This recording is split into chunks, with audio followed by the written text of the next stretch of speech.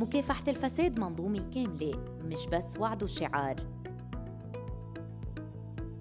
شو يعني الحق بالوصول للمعلومات؟ يعني المعلومات المتعلقة بالمال العام والشأن العام الموجودة عند الإدارة ما بتعود سر وبصير أيا كان بلا تمييز يقدر يوصل ويحصل عليها والقانون في استثناءات محددة كيف منستفيد من الحق بالوصول للمعلومات؟ هيدا الحق بيسمح للناس يعرفوا حقوقهم وواجباتهم ويحاسبوا الإدارة على أدائها. كمان هيدا الحق بيساعد بمكافحة الفساد لأن الفساد بيستفيد من العتمة. قديش واردات الخزينة قديش المصاريف كيف عم تنصرف وعشو. بغياب المعلومات بتتركب الصفقات الفاسدة لصالح أصحاب النفوذ وبتلاقي حالة الشركات مضطرة تدفع رشاوى وتعمل واسطة حتى تشتغل.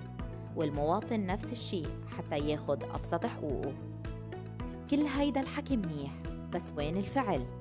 بعد جهود كبيرة بلشت بال 2006 تم إقرار قانون الحق بالوصول للمعلومات بال 2017 وتعديله بال 2021 وتم إقرار خطة وطنية لدعم تنفيذه بال 2020 وحتى يكمل الشغل ونوصل لالتزام فعلي بأحكام القانون لازم كل الإدارات تنشر كل عمليات الدفع اللي بتعملها وقيمتها 50 مليون ليرة أو أكثر تنشر قراراتها موازناتها ومصاريفها وتقاريرها السنوية. وكمان تكلف موظف معلومات وتدربه وتوفر له الأدوات اللازمة حتى يرد على طلبات المعلومات ضمن المهلة القانونية يلي هي 15 يوم وبتتمدد ل 30 يوم إذا استدعت الحاجة.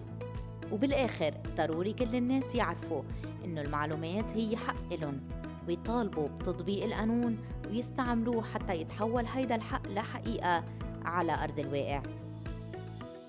اعمل حسابك لازم تعرف حتى تحاسب. مع الفساد كلنا مندفع الثمن غالي.